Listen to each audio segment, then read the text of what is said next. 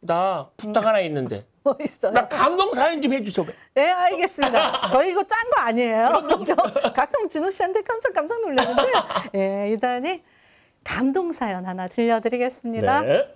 운동화를 신은 신부. 음.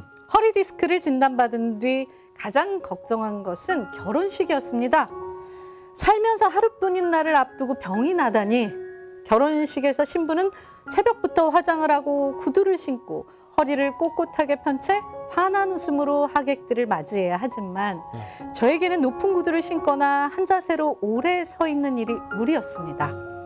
저는 매일 제발 결혼식을 무사히 치르게 해주세요 라고 기도했습니다.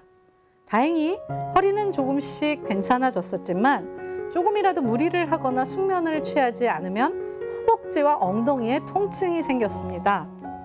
결혼식을 계기로 몸이 더 안 좋아지면 어쩌지 싶었습니다. 그래, 구두 대신 운동화를 신자. 신부 대기실에서 운동화를 신고 하객을 맞이한 뒤 입장 전에 구두로 갈아 신기로 한 것입니다.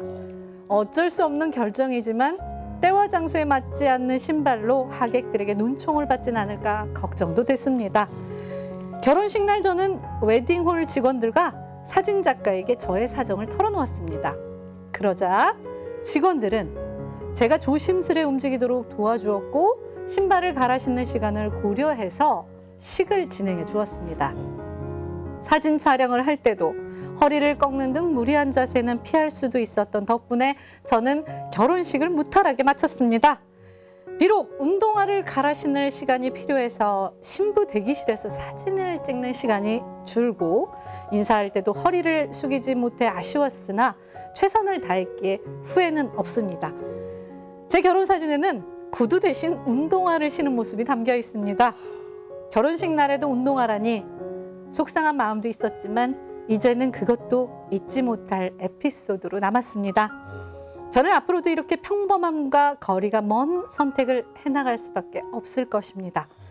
그래도 고정관념을 깨는 일이라며 스스로를 위로하며 앞으로 잘 살아갈 것입니다. 예. 라는 사연이에요. 야. 그러네요. 음, 저도 운동화를 신은 신부를 보지는 못했는데 맞습니다.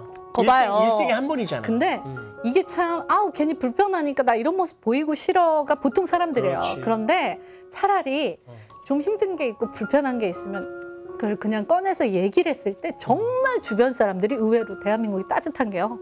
다 어, 도와주려고 해요. 그럼요. 네. 그러니까 신부 대기실에 사진이 없지만 음. 그 시간이 부족하니까 왜 음. 시간 타이트하잖아요. 대한민국 이 맞아요. 문화와 비슷하게 막 바빠 결혼식도.